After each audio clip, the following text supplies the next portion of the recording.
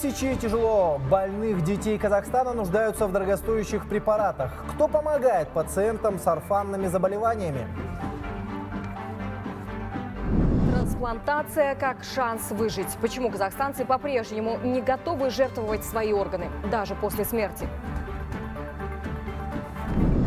Из процедурного кабинета прямо в суд. Казахстанцы все чаще становятся жертвами псевдокосметологов и горе-хирургов. Результат халатности – потерянное здоровье. Возможно ли возместить моральный и материальный ущерб?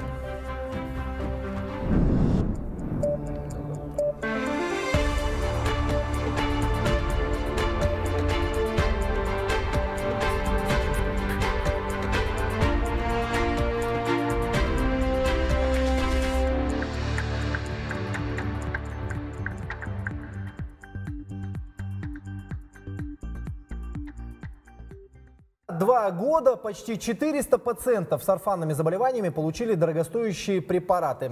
300 из них – дети, страдающие редкими генетическими патологиями. При этом стоимость одного лекарства может достигать миллиарда тенге.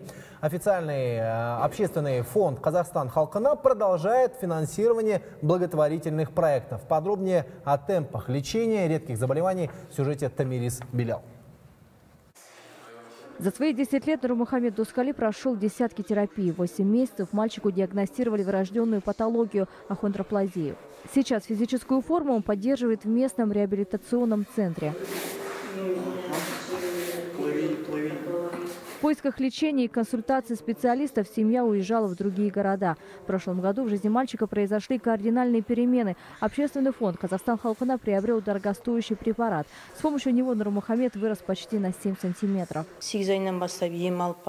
Мы начали сдавать анализы с 8 месяцев. Сказали, что это генетическая патология. Находились на лечении в Алматы, Астане. Окончательно диагноз подтвердили в 9 месяцев. Каждые 6 месяцев мы проходим обследование. У меня много кружков, домра, вокал. У меня все. У меня нет вообще свободного дня. Сегодня день Нурмухамеда буквально расписан по часам. Мальчик занимается вокалом, играет на домбре, посещает уроки английского и ходит в бассейн. В остальное время он проходит постоянные терапии. На данный момент получает э, лечение по поводу сколиоза. И благодаря работе ФК-инструкторов, кинезиологов, массажистов мы будем применять наши навыки для того, чтобы сам позвоночник уже становился ровным. И когда будет ровный позвоночник, он будет правильно влиять на развитие ребенка, на иннервацию, на внутренние органы. В общем, это общий баланс организма будет э, восстановлен. И такая история не единственная. Тысячи тяжело больных детей по всей стране нуждаются в дорогостоящих препаратах, часть из которых не зарегистрирована в Казахстане. Раньше многие дети с нейробластомой, а, с другими а, редкими заболеваниями уезжали из Казахстана, вели сборы средств в социальных сетях, а, находились в зарубежных клиниках. И для того, чтобы получить там дорогостоящую лекарственную терапию, то сейчас фонд Казахстан Халкна приобретает эти препараты. Есть также препараты, стоимость которых достигает за один флакон 500 миллионов тенге. Есть э, такие препараты, которые необходимо каждый день применять. Лечение орфанных заболеваний необходимо начинать с младенчества. Сегодня фонд Казахстан Халкана обеспечил лекарственными препаратами 297 детей. Пациенты будут находиться на балансе организации в этом году. Тамирис Белял, Асламбек Шигаров, Амантай Матенов, 24 КИЗАТ. А вот шанс на новую жизнь в новогоднюю ночь получили 9 казахстанцев. Им пересадили органы посмертных доноров. Между тем, в отечественной трансплантологии 85% операций проводятся только благодаря прижизненным донорам. Пациентам из листа ожиданий помогают в основном члены семьи. И наша коллега Ботагос Базарбаева прямо сейчас расскажет подробнее. Этого дня Айжан Кударова ждала почти 7 лет, столько она на гемодиализе. Все эти годы, три дня в неделю, по несколько часов она проводила прикованные к аппарату искусственной почки. Женщина прилетела в Национальный научный онкоцентр 31 декабря. Операцию по пересадке почки ей провели в тот же день. Филолог с большим стажем после восстановления она планирует вернуться на работу.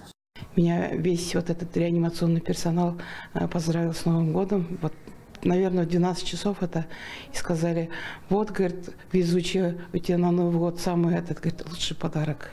Уже действует функция организма, функции почек, это на себя чувствую. Отеки ушли, тяжесть медленно исчезает. Сегодня казахстанские врачи проводят пересадку печени, сердца, легких и почек. За последние 10 лет проведено почти 2500 таких операций. Но лист ожиданий с каждым годом только растет. Сейчас от трансплантации органов зависит жизнь и здоровье 4000 жителей страны. Трем с половиной тысячам из них нужны новые почки. А многие отказываются давать согласие. И э, с развитием именно э, трансплантации от посмертного донора э, у нас в стране именно количество трансплантаций увеличится, это раз. И во-вторых, количество пациентов уменьшится в листе ожиданий. Учитывая данную ситуацию, именно то, что ежегодно у нас в стране количество пациентов растет, и, и растет количество пациентов, которые не дожидаясь, э, умирает, э, именно не дожидаясь в трансплантации, умирает. Стать посмертным донором можно либо обратившись в поликлинику, либо зарегистрировав свое согласие на портале ЕГОВ. Но казахстанцы не готовы отдавать свои органы после смерти, говорят врачи. Поэтому донорские стационары обращаются за согласием к родственникам умершего и чаще всего получают отказ. Между тем, один посмертный донор может спасти жизни пяти человек. Бутагос Базарбаева, Канат Махмутов, Астана, 24 КЗ. И в продолжении темы мы говорили уже об этом в первом часу. Помимо того, что есть удачные процедуры в медицине, есть также и халатность врачей, этого никто не отменял. И больше миллиона тенге э, недавно взыскала пациентка частной клиники после неудачной такой вот лазерной коррекции зрения. Доказывать врачебную халатность и отстаивать свои права жительница Актубе э, вынуждена была в суде. К слову, количество подобных обращений от граждан растет из года в год. По данным Комитета по защите прав потребителей Министерства торговли, только в 23-м году казахстанцам помогли вернуть свыше миллиарда тенге. Этот материал у нашей коллеги Гульнары Ермановой. Во время лазерной коррекции зрения жительница Актобе Гульбану Умаровой повредили роговицу на левом глазу. Врач пообещал исправить ошибку и через две недели провести еще одну операцию. Но в назначенный день в клинике процедуру отложили. Мне пришлось уже обратиться в другие клиники, где я установила, что у меня там куда более серьезный диагноз – но в Казахстане мне сказали, мы не можем взять ответственность за чужую ошибку, э, отказали в проведении операции, посоветовали поехать в Москву, клинику. Я поехала в Москву, где получила заключение полное, что у меня стромальное помутнение роговицы. Это когда вот делают надрез э, больше положенного, э, нервы были задеты, и за счет этого вот у меня помутнение было. Предстоит еще одна операция, но еще не могут сказать, так как уже роговица очень тонкая, и после всех этих операций, не могут сказать, подойдет или нет. Сейчас вижу на 80% одним глазом. В самой клинике, где Гульбану Умаровой провели неудачную лазерную коррекцию, предложили вернуть лишь половину от потраченной на операцию суммы. Ей пришлось обратиться в суд. В первой инстанции иск женщины не поддержали. Совместно с адвокатом а, пострадавшей потребителя нашего мы в апелляционном порядке а, доказали, что была вина клиники, ненадлежащее оказание медицинских услуг, и судебная коллегия пришла к выводу, что исковые требования нужно удовлетворить, а решение первой инстанции нужно изменить. А, в настоящее время вышло новое решение суда, где в пользу потребителя были взысканы все ее материальные ущербы, и в том числе компенсирован моральный вред в размере 1 миллион тенге. К слову, казахстанцы стали чаще отстаивать свои права. Об этом свидетельствуют и цифры. Только в прошлом году в Комитет по защите прав потребителей и территориальные департаменты обратились около 50 тысяч человек. Это на 65% больше, чем в 2022. При этом основная часть обращений приходится на сферу ЖКХ, розничную и электронную торговлю, медицинские и туристические услуги, а также на некачественную связь. В результате проведенных мероприятий потребителям возвращено более 1 миллиарда тенге. По сравнению с аналогичным периодом прошлого года наблюдается увеличение на 27,2%. В департаментах по защите прав потребителей казахстанцам могут помочь урегулировать спор, а если решить его до суда не удастся, в этом случае специалисты подготовят иск. Между тем, в Мажилисе готовят новый законопроект, пока он находится в работе парламентариев. Гульнара Ерманова, Мансур Есхожин, Айнадин Молдобеков, 24 КЗ. И уже э, в следующем году, Арстан, э, заработает приложение «Открытый банкинг», где все казахстанцы смогут открыто переводить все свои переводы э, с помощью одного приложения в телефоне. Прямо сейчас э, об этом и о деталях этого приложения расскажет наша коллега. Эта технология, э, как мы уже озвучили, называется открытый банкинг. Сабина, еще раз давайте напомним, о чем это, как этим пользоваться и насколько это качественно для казахстанцев. Нацбанк на начальном этапе протестировал приложение, мобильное приложение трех банков, которые подключились к специальной платформе, которая позволяет им обмениваться между собой определенной информацией. На начальном этапе банки передали друг другу данные о текущих счетах клиента, но исключительно с его согласия.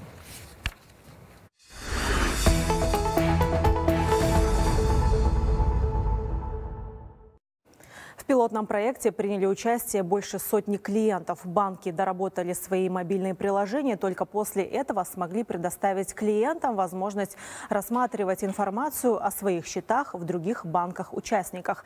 Тестировали приложение на протяжении двух месяцев. По задумке казахстанцы смогут управлять своими финансами и проводить платежи без привязки к определенному мобильному приложению или банковской карте, тем самым облегчая процесс транзакций. На следующем этапе этапе разработчики хотят заполнить приложение информацией финансовых организаций по кредитам, депозитам, страхованиям и инвестициям, чтобы клиенты имели возможность сравнить различные продукты и услуги. К системе до следующего года включительно должны подключиться все казахстанские банки, а их больше 20. Сейчас, например, сколько у меня счетов, столько у меня банковских приложений. А, при использовании открытого банкинга я могу использовать только одно приложение, которое удобно лично мне, а, и могу подтягивать данные с других банковских счетов а, в одно приложение и пользоваться только им. В будущем это может быть и не банковское приложение, но это уже вот при развитии продукта. Мы говорим вот о физических лицах, да, но мы предполагаем, что будет также развитие юри... до юридических лиц, а теперь наглядно покажем, как будет работать открытый банкинг. Итак, клиенту необходимо зайти в мобильное приложение одного из выбранных им банков, далее пройти биометрическую верификацию личности и смс-проверку по одноразовому паролю. Потом дать согласие на передачу своих данных из других банков. И только, только после этого в приложении отобразится все текущие счета, а также детальная информация в виде реквизитов, истории транзакции по каждому счету.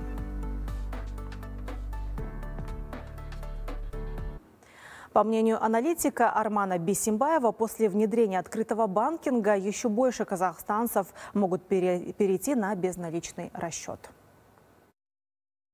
Это возможность закрепить э, безналичный расчет. Он на самом деле выгоден государству, потому что безналичный расчет это прозрачно, это видно. От государства в безналичном расчете не спрячешься. Вот, поэтому его надо закреплять. Государству нужен контроль, и государству выгодно, чтобы люди расплачивались безналичным способом, вот, потому что, ну, все видно, да? Они, если они захотят иметь доступ, они будут это видеть. А еще более глобально, то есть на отдаленной перспективе, это подготовка к полностью безналичной форме денег, цифровой деньги. Open Banking кардинально меняет мировую финансовую индустрию, говорится в докладе Нацбанка. Сейчас насчитывается около сотни стран, где либо уже внедрили модель, либо она находится на стадии запуска. Системой уже пользуются Великобритания, США, Сингапуре, Японии и других странах. Сегодня объем операций в мире в рамках Open Banking оценивается в 57 миллиардов долларов. Ожидается, что через 4 года эта сумма вырастет до 330 миллиардов, а количество операций операций увеличится со 102 миллиардов до 508 миллиардов единиц. Концепция не ограничивается только банковскими операциями, а расширяет свое влияние на смежные отрасли – страхование, недвижимость и торговля. И к другим темам. С начала года в Казахстане завершился срок действия единого совокупного платежа, который вносили самозанятые. В Комитете государственных доходов рассказали, что ЕСП вводился временно на 5 лет. Чтобы была возможность обращаться в медучреждение за бесплатной медицинской помощью казахстанцам, которые не занимаются предпринимательской деятельностью, нужно самостоятельно оплачивать взносы на обязательное социальное медицинское страхование. Примерно по 4 тысячи тенге ежемесячно. Для бизнесменов минимальная сумма социальных платежей составит свыше 17 тысяч тенге. Сюда входят обязательные пенсионные и социальные отчисления, а также взносы ОСМС. Также предпринимателям необходимо выбрать удобный режим налогообложения. Например, при наличии патента ставка налога 1%, упрощенной декларации 3% и режима розничного налога 4%. И в завершении информация с казахстанской фондовой биржи. По итогам последних вечерних торгов курс доллара составил 453 тенге 40 тиинов, евро 495,98, рубль 4,98. Коллеги, когда в Казахстане все-таки внедрят открытый банкинг, как вы думаете, будете пользоваться? Обязательно, непременно э, посмотрим, насколько качественно работает приложение. Если действительно это экономит время и позволяет, никуда не выходя, э, выполнять оплаты, переводы производить, то да, почему бы и нет. Но еще в том случае, если не будет никаких сбоев э, в этой программе, приложении, потому что, как правило, люди перестают пользоваться, если она не отвечает требованиям, как говорится, нас, э, пользователей. Поэтому надеемся, что тестовый режим полетный, как раз таки пилотный, и будет в нормальном рабочем состоянии. И мы останемся на этом приложении. Спасибо. С нами была Сабина Балашкина с рубрикой «Первая цифра».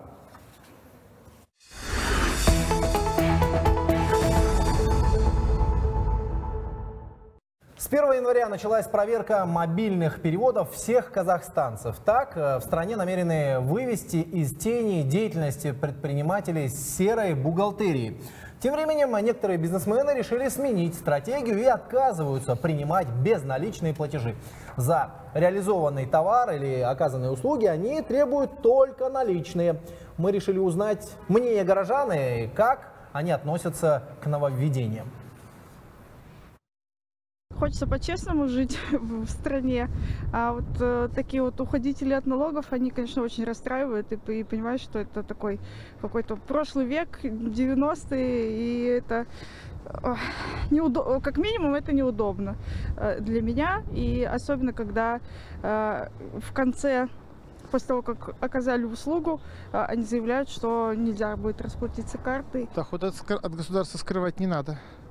Надо все декларировать, и онлайн-оплата – это хорошо. Для любого человека оплатить где-то в магазине оплату произвести, то есть не как вот сейчас только вот наличными, то есть для нас это не совсем удобно. Мы хотим также QR, как раньше оплачивали. Как закон оно выходит, так и нужно, наверное, соблюдать. А прямо сейчас к теме о всеобщем декларировании. Телеграм-чат для разъяснения вопросов всеобщего декларирования и контроля мобильных переводов создали в Казахстане. В мессенджере можно ознакомиться с актуальной информацией по налоговому учету. Также в региональных управлениях госдоходов создали 200 консультативных центров.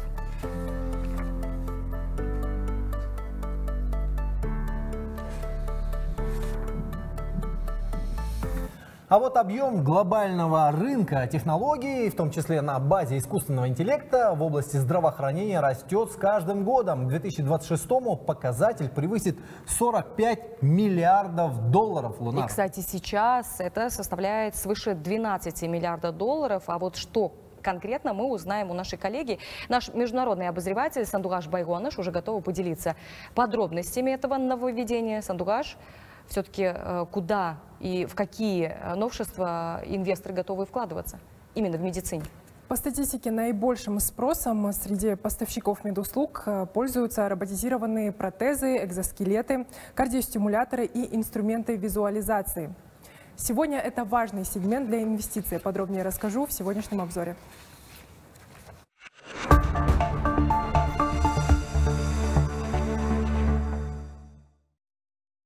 Классическую систему электрокардиограммы модернизировали исследователи из Университетского колледжа Лондона. Они разработали жилет, который показывает активность сердца с высоким разрешением. Это неинвазивное и много многоразовое устройство, в него встроены 256 электродов. Для сравнения, при обычном ЭКГ используется 12. Для записи активности сердца требуется всего 5 минут. За это время датчики собирают информацию, отображая 3D-модель органа. Она показывает состояние мышечной ткани, в том числе место, где находятся мертвые клетки. В сочетании с МРТ это устройство может выявить потенциальные риски развития опасных нарушений в работе органа. Новый метод ЭКГ успешно успешно опробовали примерно на 800 пациентах. Um, При обычном ЭКГ используются гелевые электроды. Они часто вызывают дискомфорт и раздражение кожи у пациентов. Более того, гелевые электроды предназначены для одноразового использования, после чего их приходится выбрасывать. В нашем жилете мы применяем сухие электроды без геля. Он более комфортный. Кроме того, жилет можно носить даже при нагрузочных тестах. Выявлять рак молочной железы с помощью отпечатка пальца предлагают другие исследователи, тоже из Великобритании. Метод в конечном итоге может заменить маммографию. Специалисты разработали особый тест. При наличии определенных соединений, которые выделяются с потом, возможно выявить болезнь. Так считает исследовательница Симона Франчеза, которая в течение 15 лет сотрудничала с криминалистами для сбора информации отпечатков с пальцев. Она полагает, что в будущем этот тест может стать альтернативой в нынешнем методе методом исследования, а также побудить больше людей проходить регулярные обследования. Отмечу, в 2021 в мире рак молочной железы обогнал рак легких по количеству случаев заболевания. По данным ВОЗ, на его долю ежегодно приходится почти 12% новых случаев онкологических заболеваний. Пот содержит множество различных молекул, но нас интересуют белки и их различные уровни экспрессии. Они показывают нам, есть ли у пациента доброкачественная патология или метастатический рак. Мы используем искусственный интеллект, чтобы определить данные масс-спектрометра, системы, которая измеряет атомный вес частиц и молекул для их идентификации. Микроскопические боты из человеческих клеток. Их создали американские ученые. Размером они около 10 микрометров. В лабораторных условиях они живут до двух месяцев. Ученые поставили эксперимент, чтобы понять, способны ли микророботы перемещаться по человеческим нейронам. Для этого они создали специальные условия, в которых использовали модель поврежденной ткани живого организма. Туда в ходе исследования микроустройства успешно доставляли лекарства.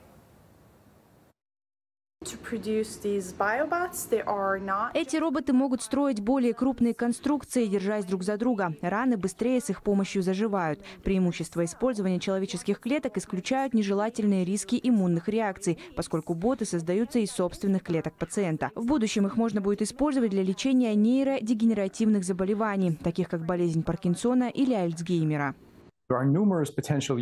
Существует множество потенциальных применений роботов в медицине и биоинженерии. В будущем мы сможем брать клетки человека и с помощью точно рассчитанных стимулов заставлять их принимать желаемую форму и поведение. Мы сможем вводить их обратно в организм, чтобы они выполняли терапевтические задачи, как обнаружение опухолей или патогенов, устранение налета со стенок артерий или других дефектов.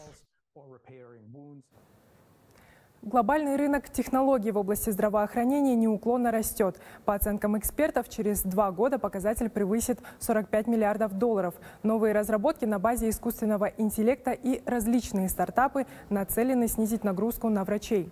Это позволит им сконцентрироваться на более сложных задачах. Однако внедрение технологии ИИ в сферу медицины влечет за собой и возможные риски. Это может быть нарушение конфиденциальности пациентов и постановка неправильного диагноза. Тем не менее, цифровая трансформация в медицине происходит, поэтому миру необходимо адаптироваться под новые условия. Коллеги, вы как? Вы за цифровую трансформацию в медицине все-таки? Да, знаешь, это было и давно уже, но наряду с этим всегда, помимо цифровизации, были и старые а, методы, которые уже закоренились в классике. Помимо этого, сейчас еще и готовят специалистов именно в разных отраслях э, цифровизации. Это юриспруденция. Ну и то, о чем ты говоришь, говорила только что в области медицины. Я надеюсь, что специалистов будет больше, и они будут достаточно высоко квалифицированы. Главное во благо. Да, во благо. На здоровье нации. Да. Спасибо. Сандугаш Байгуаныш была со своей рубрикой «Контур мира».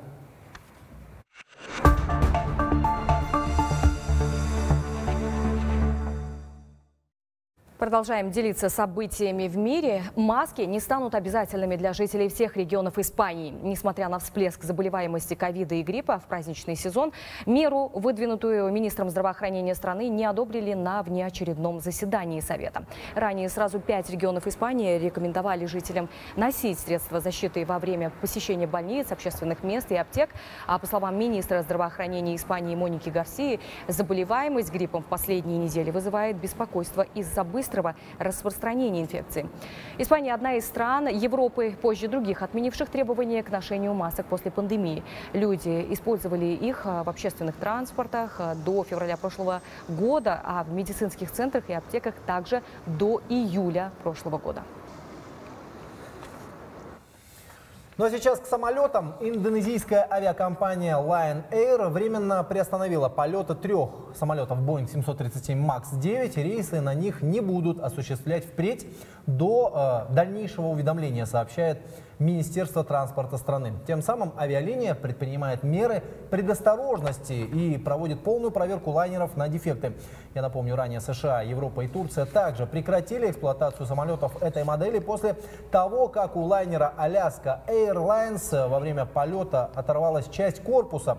Тогда на борту находились 177 человек. Несколько пассажиров получили травмы.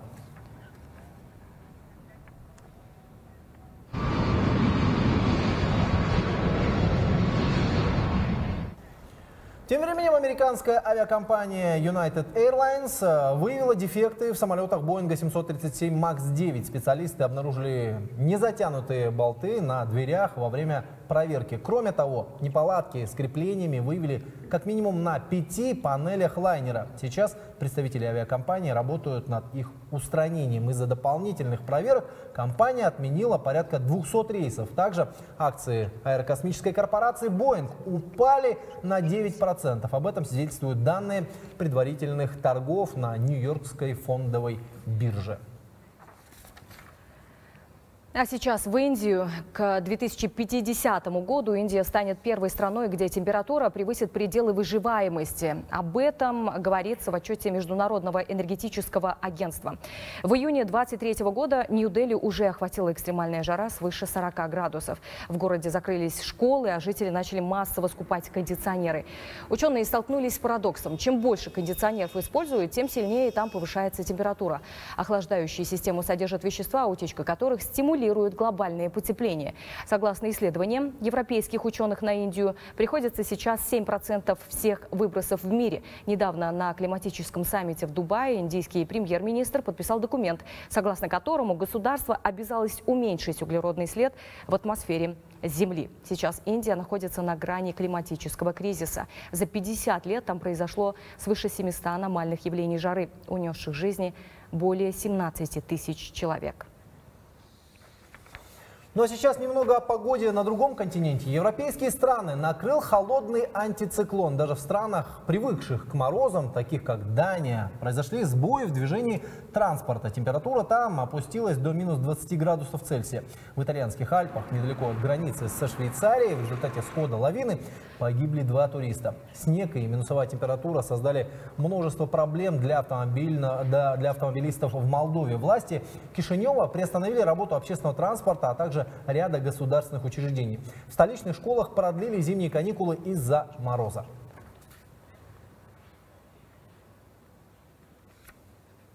А вот перейти в режим повышенной готовности призывает э, регионы главный спасатель страны. На заседании правительства министра, министра по ЧС доложил о подготовке к паводкому периоду. Задача номер один – защитить населенные пункты, что рядом с водохранилищами. И таких в стране 320 один в качестве одной из мер. Сырым Шарипханов предложил даже начать переселение. Моя коллега Сания Кубжасарова сейчас на прямой связи с нами из здания правительства и готова рассказать подробности. Сания, доброе утро.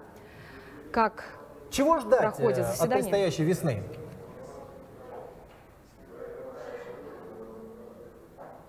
Сания, вы в прямом. Здравствуйте, студия. Жда... Доброе утро, студия. Ждать, ну и тем более выжидать весны, конечно же, не стоит. Прямо сейчас нужно переходить в режим повышенной готовности. Пожалуй, это самая ключевая фраза в сегодняшнем докладе министра ПЧС. Рекомендации относятся к северным и южным регионам. На сегодняшний день в пяти областях покрытость э, территории снегом э, составляет 70%, еще в 12 регионах свыше 90%. При этом Казгидромет на ближайшие два месяца прогнозирует осадки выше нормы на 1-2% и повышение температуры выше нормы также на 1-2%. Сырым Шарипханов э, на заседании выступая отметил, что подготовка к паводковому периоду в самом разгаре. Уже сейчас в ведомстве определили специальную группировку сил, это около 40 тысяч человек в полной готовности свыше 11 тысяч единиц техники. В случае паводка на старте также воинские части. К 5 февраля Казгидромет подготовит министерству предварительный прогноз погоды на весну. Исходя из него, ведомство уже скорректирует специальную группировку сил. Либо создаст резервные службы, либо оставит в диапазоне 40 тысяч человек. Скажем так, подготовка спасательной операции, своего рода репетиция, начнется уже скоро, в октябре. Как сказал Сырм Шарипханов, это будет совершенно новый формат штабных учений, а, никаких показательных мероприятий, только практика и ничего кроме нее. Собственно сказать, а, к данному часу относительно подготовки к паводковому периоду у меня все. А, добавлю, сегодня на заседании правительства рассматривают два вопроса. Второй вопрос – это санитарно-эпидемиологическая обстановка в стране. На повестке в приоритете ситуация с корью. Назову цифры. С начала года в стране уже зарегистрировали 1674 новых фактов заболевания. Однако об этом мы расскажем в следующих выпусках новостей. Студия, у меня на этом все. Спасибо, Саня. Весна, как правило, славится паводками. Будем надеяться, что министр ПЧС и его команда справятся со всеми э, этими проблемами. А это была наша коллега Саня Кубжасарова из здания правительства. Мы продолжаем. А в продолжении Казахстан в этом году будет э, председательствовать в нескольких региональных и международных организациях, в том числе в коллегии Евразийского экономической комиссии и ОДКБ. О приоритетных направлениях сотрудничества подробнее в материале наших коллег. В Евразийском экономическом союзе в этом году председательствует Армения, а вот в коллегии Евразийской экономической комиссии руководство перешло к Казахстану. В феврале новым главой коллегии станет министр по экономике и финансовой политике ЕЭК Бакытжан Сагинтаев. Его председательство продлится до 2028 года. Один из приоритетов Казахстана в сфере евразийской интеграции – расширение сотрудничества с третьими странами. В конце декабря было подписано знаковое соглашение о зоне свободной торговли стран ЕАЭС с Ираном. Речь идет о снижении пошлин для 90% товарных позиций из стран Союза. Мы рассчитываем, что полноформатное соглашение нам уже в короткий срок буквально позволит увеличить еще раз, в два раза нашу торговлю до 10 с лишним миллиардов долларов. По Казахстану мы видим серьезные перспективы э, для поставок традиционной казахстанской продукции. Прежде всего это пшеница, ячменя. Э, Казахстан активно присутствует на иранском рынке, наращивает свою долю.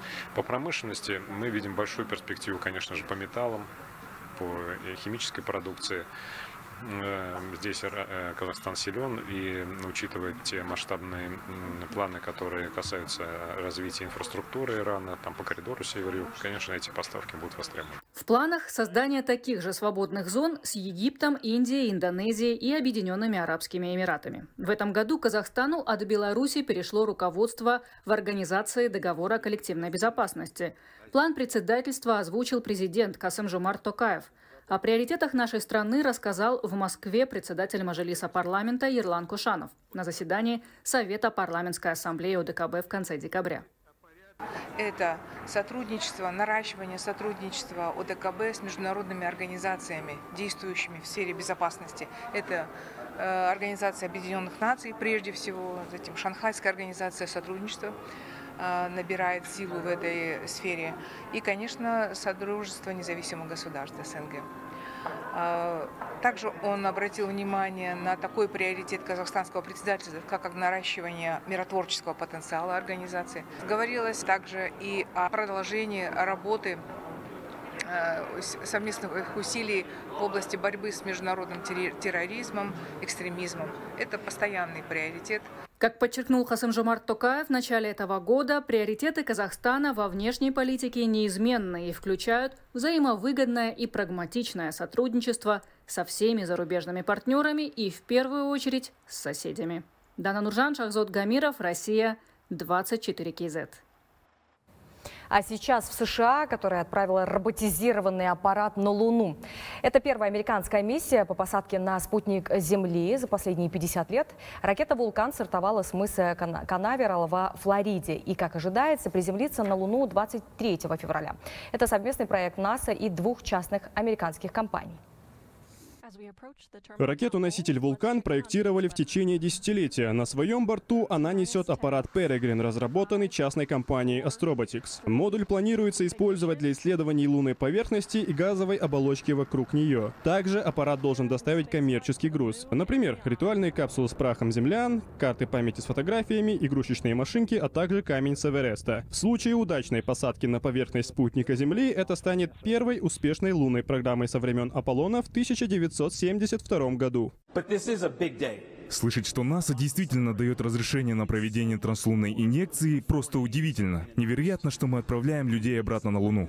Компания Astrobotics из штата Пенсильвания при помощи этой миссии стремится покончить с засухой в Соединенных Штатах. Ученые полагают, что постоянно затененные кратеры Южного полюса Луны содержат миллиарды килограммов замерзшей воды, которые можно использовать для питья и изготовления ракетного топлива. Более того, Astrobotics соперничают со SpaceX за право стать первой частной организацией, которая совершила мягкую посадку на Луну. На протяжении десятилетий возникали научные вопросы, из-за которых люди, ученые в Соединенных Штатах и во всем всем мире жаждали вернуться на поверхность Луны, чтобы ответить на них. Мы отправили много зондов на орбиту вокруг Луны, но они наблюдают ее издалека. Это будет наш первый шанс вернуться назад и действительно провести те измерения, которые касаются поверхности Луны и увидеть, что там на самом деле.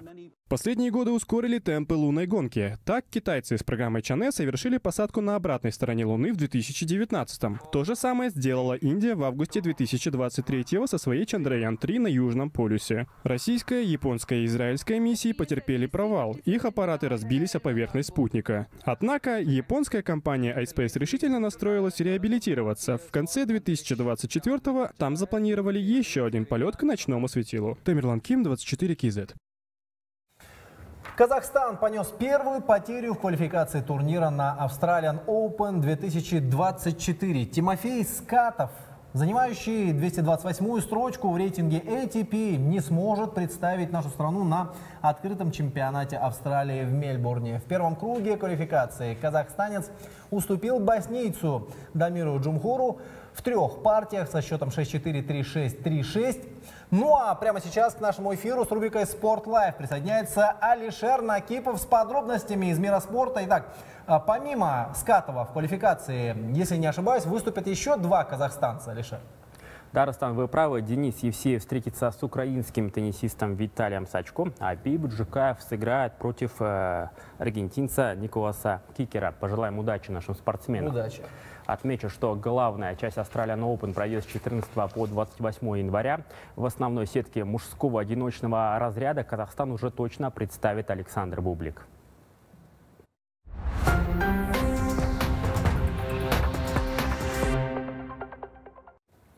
О подготовке к пятым всемирным играм кочевников рассказали в Министерстве туризма и спорта. Глава ведомства Ермек Маржикпаев отметил, что президент Касым Жумар Тукаев в интервью газете «Егемен Казахстан» особо подчеркнул важность этого крупного спортивного события для нашей страны.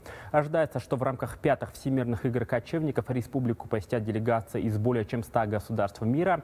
Уникальность игр заключается в сочетании спортивных, культурных и научных программ план проведения войдут 20 соревновательных и 10 показательных видов спорта. Будут разыграны 110 комплектов медалей. Соревнования пройдут по конному спорту, национальной борьбе, стрельбе из лука, видам охоты с птицами, традиционным интеллектуальным играм. В рамках подготовки к первенству спортсмены национальных сборных команд с января с этого, этого года примут участие в 13 международных, 39 местных учебно-тренировочных сборах, а также 17 республиканских и 23, 23 международных соревнованиях. До начала игр осталось меньше года. По поручению главы государства необходимо провести пятые всемирные игры кочевников на высоком уровне. Поэтому мы должны четко определить, какие меры были предприняты на сегодняшний день, какие у нас впереди задачи. В кратчайшие сроки нужно решить все оставшиеся проблемы. Подготовка к играм пока ведется по плану. Тем не менее, тренировки сборных по национальным видам спорта должны проходить на высоком уровне. Необходимо обеспечить спортсменам качественные условия и полностью решить все финансовые вопросы. В западной Казахстанской области в городе Аксай впервые проходит второй этап Кубка Казахстана среди юношей и девушек по биатлону. Среди участников соревнований около 60 юных спортсменов из шести регионов страны первый день биатлонисты соревновались в спринтерском забеге на дистанции 4,5 километров среди юниоров 2009-2010 годов. Не было равных Никите Дудченко из Ридера. Участвующих на пару лет младше быстрее всех был местный воспитанник Тажибаев Арын. У девушек первая финишировала Тудауханова Женерки из Аксая. В другой возрастной категории лучший результат показала Жигулина София Щучинска. Сегодня юные атлеты сразятся в индивидуальной гонке. Третий этап Кубка пройдет в Павлодаре. Лучшие спортсмены своей категории мы отправим за счет федерации на самый лучший большой лыжный биатлонный фестиваль Light Open в Норвегию. А также по итогам э, в конце на финальном этапе в Астане определятся лидеры в тотале сезона, которые получат желтую майку и хрустальный глобус от федерации. А также лучшие команды топ-5 получат денежный сертификат от нашей федерации, на который они могут закупиться детский инвентарь, который необходим в развитии биатлона. Стало известно, с кем сыграет Елена Рыбакина на старте турнира WTA 500 в Эдалаиде. Первая ракетка Казахстана начнет выступление сразу со второго круга и встретится с 26-летней испанкой Кристиной Бушко. Обе теннисистки начали сезон с Брисбена, но если казахстанка там выиграла, уверенно победив во всех пяти матчах за неделю, то Букша добралась лишь до второго раунда. Она оказалась сильнее бельгийки Грет Минен, но проиграла польке Магделинет. Сейчас испанская спортсменка находится на наивысшей для себя позиции. Она еще никогда не входила в топ-60 рейтинга. Для нее встреча с Рыбакиной будет большой мотивацией. Проявить себя, ведь эта игра вызовет большое внимание болельщиков со всего мира. Между тем, перед стартом в Аделаиде лучшая казахстанская теннисистка обратилась к болельщикам. Огромное спасибо всем за поддержку, особенно казахстанским болельщикам. Всегда приятно читать ваши сообщения и видеть вас на трибунах в разных уголках мира. Сборная Казахстана по теннису объявила состав на Кубок Дэвиса 3 и 4 февраля. Национальная команда на выезде в рамках квалификации к мужскому чемпионату мира сыграет против Аргентины. Тренерский штаб во главе с Юрием Щукиным выбрал Александра Бублика, Дениса Евсеева, Абибута Жукаева, Тимофея Скатова и Александра Недовесова. Игры пройдут на грунтовых кортах в городе Росарио. Отборочные матчи Кубка Дэвиса будут состоять из четырех одиночных и одной парной встречи и пройдут в трехсетовом формате. В одиночке у аргентинцев три игрока в топ-50, а еще трое в топ-20 в парном разряде. Все они сильно играют на грунте, как отметил Юрий Щукин. Мы понимаем, что будет сложно, но будем стараться. Мы не первый раз играем против сильных команд и не раз побеждали на выезде.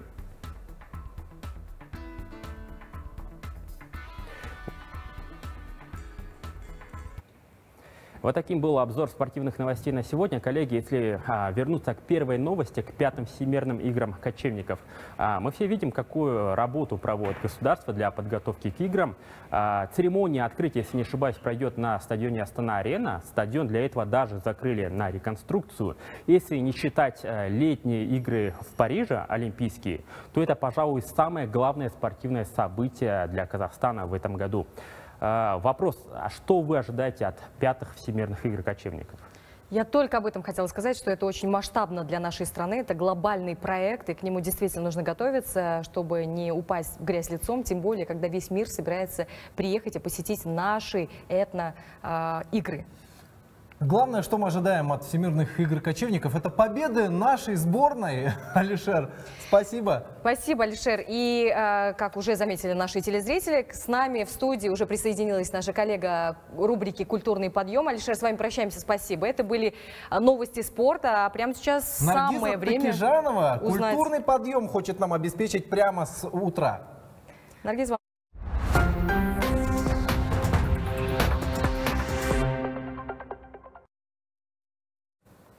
Ну и, э, конечно, еще раз повторим, что сейчас с нами в студии наша коллега Наргиза Такижанова, а, которая расскажет о спектакле, который был на днях. Об этом Луна, говорила и Тамирис. Да. Для начала я хотел бы спросить тебя, какой из э, театральных жанров тебе больше всего нравится?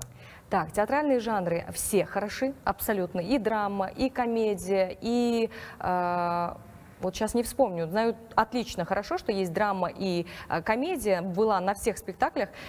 А если про фильмы я у вас скажу, спрошу? Какие, например? Какие жанры нравятся вам? Э, все, кроме э, ужасов.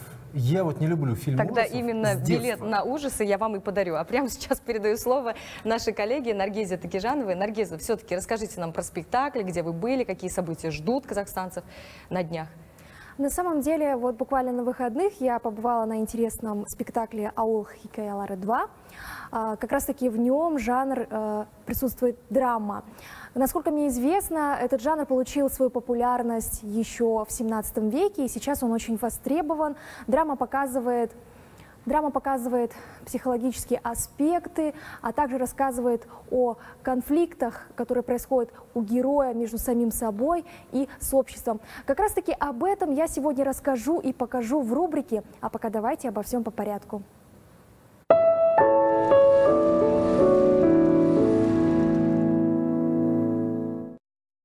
Интересная экспозиция «Жакут», представленная в Государственном музее искусств имени Аб- Аблхана Костеева в Алма-Аты, объединила больше 60 произведений. Автором этих уникальных работ является заслуженный деятель страны Кутыкбек Жакып. Отмечу, что художник является основоположником нового направления в искусстве. Это создание рельефных произведений, выполненных с использованием меха. Да-да, такие вот оригинальные работы, они прекрасно вписываются в современный интерьер.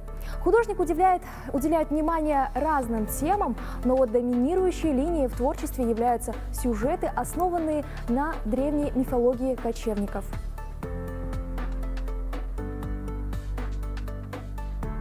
Хорошо.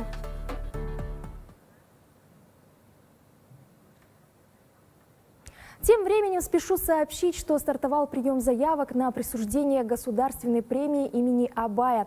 Престижный конкурс объявлен в области литературы и искусства. Свои работы могут представить не только граждане Казахстана, но и иностранцы. Премия присуждается за выдающиеся произведения, признанные особо ценным вкладом в развитие культуры Казахстана. Согласно условиям, выдвижение работ на соискание премии производится коллегиями государственных органов, творческими союзами и коллективами. Прием заявок и работ от претендентов продлится до 1 марта текущего года. С правилами участия в конкурсе и списком документов, необходимых для регистрации работ, можно ознакомиться на сайте Министерства культуры и информации. И наша главная тема – поговорить о былых временах, а также вспомнить о ценностях и традициях. Именно об этом вторая часть полюбившегося зрителями спектакль о сельской жизни «Аул Хикаялары 2». Накануне в Театре драмы комедии имени Азербайджана Мамбетова состоялась его премьера. Мы побывали там, точнее я лично сама. Давайте узнаем, как проходила подготовка к спектаклю и заодно познакомимся с его героями. Потертая одежда, старинная кровать и даже окошко, заглянув в которое, кажется, что попал в другую вселенную. Команда серьезно подошла к каждой детали. Зрителя ждут не просто истории, но и полное погружение в сельскую жизнь. Подготовка к спектаклю занимает обычно много времени, и начинается она задолго до того, как его представят зрителям. Я предлагаю вам сейчас вместе с нами заглянуть за кулисы. И для начала давайте отправимся в гримерную. Час, что остается у актера до выхода на сцену, драгоценен. В это время нужно собраться, настроиться и закончить грим. У каждого героя он свой. В среднем грим занимает 20 минут, но все зависит от степени сложности и роли. К примеру, сейчас гримирует Кульпаш Апай. Она играет одного из старейшин аула. Кульпаш Апай, расскажите, пожалуйста, о своей роли. История моей героини в этом спектакле непростая. Она самая старшая жительница аула. У нее есть единственный сын, который выпивает. Спустя время, благодаря молитвам, он бросает пить и приводит домой невесту. Они играют большую свадьбу. На самом деле, каждой роли мы подходим по-особенному. Но нелегко, конечно. Характер, манера разговора, как двигаться на сцене. Все это кропотливая работа. Спектакль начинается с драматической истории супругов, где героиня Нураем теряет память, и каждый день ее супруг, в надежде, что она наконец все вспомнит, рассказывает истории будто бы из книг. Но на самом деле это воспоминания из их совместной жизни. А на самом деле это история о верности, о супружеской верности, о любви, о большой любви. Ведь очень часто э, больных людей отдают какие-то специальные учреждения да, или в дом престарелых. А, это история о любви настоящей. А, муж ее никуда не отправляет, не покидает. Он всегда рядом с ней. Он ждет эти пять минут в день, чтобы по-настоящему с ней пообщаться, как э, в жизни. А вот Ельнур Балмашев удостоился сыграть роль поляка, который высоко чтит традиции и свободно говорит на казахском языке. На самом деле этого персонажа нет в произведениях. Его придумали в процессе репетиции, делится он. Ну, скорее всего, сложности были в том, что искать какой-то интересный образ. Э, всегда же перед актерами у нас стоит задача э, как бы сделать человека вот прям полноценного, который прежде всего будет не похож на тебя, полностью характером, манерой речи, все. И вот когда были вот эти поиски, наверное, вот этого какого-то, какой-то типажности вот этого персонажа, наверное, в этом сложность была. На подготовку спектакля ушло больше месяца. И, как говорил сам Станиславский, 75% того, что делается на репетиции, обычно не входит в спектакль. Так и получилось здесь. В спектакле играют 15 человек. Драма инсценирована по мотивам рассказов Уралхана Букея. В нее вошли целых четыре произведения. Можно заметить, как каждая из сцен пробуждает у зрителя чувства, эмоции, и он становится ее участником. История о родителях и детях, о том, как скучают родные, когда уезжают близкие, а также многие социальные проблемы. Все это отражает драма. По словам режиссера, они даже провели опрос среди родных, чтобы как лучше отразить былые времена и, конечно же, напомнить о самом важном. Был э, спектакль «Ностальгия».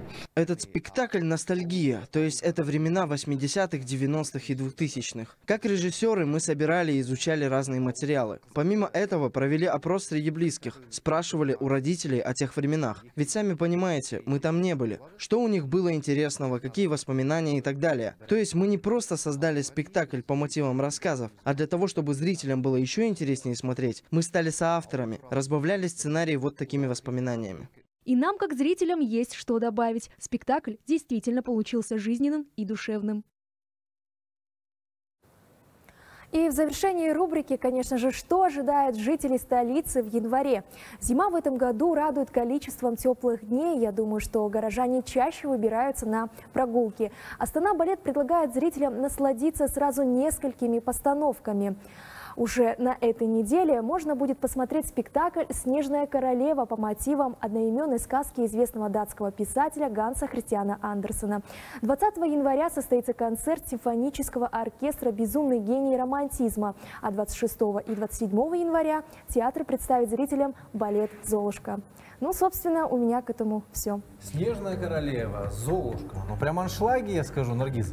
Самое главное, успейте посетить эти спектакли. Напомним, с 10 по 13 в театре Астана Балет состоится спектакль а, «Снежная королева» и многие другие культурные события.